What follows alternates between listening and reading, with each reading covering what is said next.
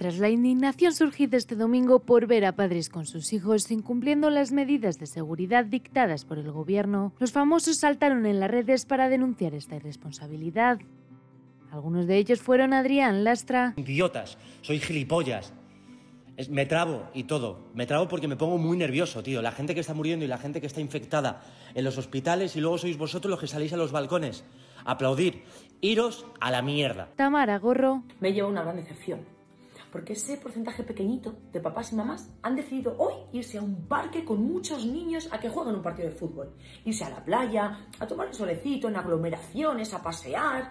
Sí, les ha importado una real mierda que haya gente muriéndose diariamente. O David Bustamante, que con esta imagen de una sanitaria ha criticado que haya personas que aplaudan en los balcones y luego se saltan las condiciones, alargando de esta manera la agonía de todos y asegurando que son injustos, insolidarios e ignorantes. Mientras tanto, la actriz Iva Vogue ha sido foco de las críticas por publicar una foto en el campo con su pequeño, la cual estaba hecha por su pareja.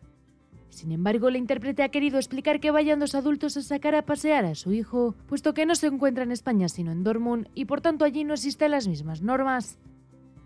Entre los famosos que sacaron un rato a la calle a sus hijos se encuentran Laura Escanes, Tomás Páramo o Sergio Ramos, entre otros.